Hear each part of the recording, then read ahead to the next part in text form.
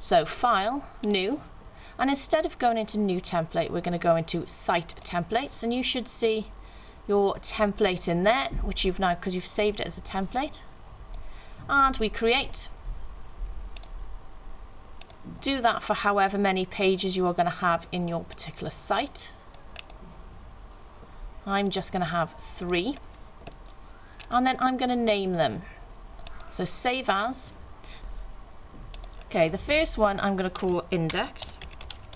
And that is because it's the root site, it's the root uh, page that the computer systems will look for when you put them on a web page. So I'm going to call that index so I know that's my home page. I right click save as, now the other ones I'm going to create a new folder called HTML and I'm going to save my other web pages in there. So I've got a game site.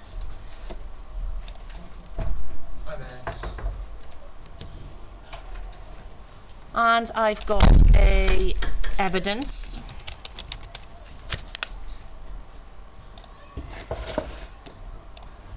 Right, so that's my name and if you notice each one of them now has its own page.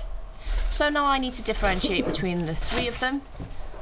So on index I'm going to put my subheading for my index which is my home page as my header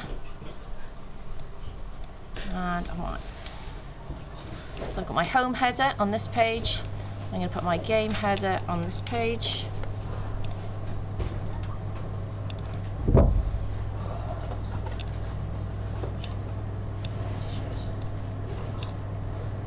and my evidence header on this page.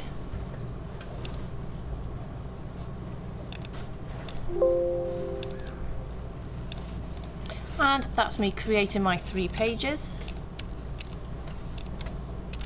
And the next thing we are going to do is to create our rollover buttons to be able to navigate between all three.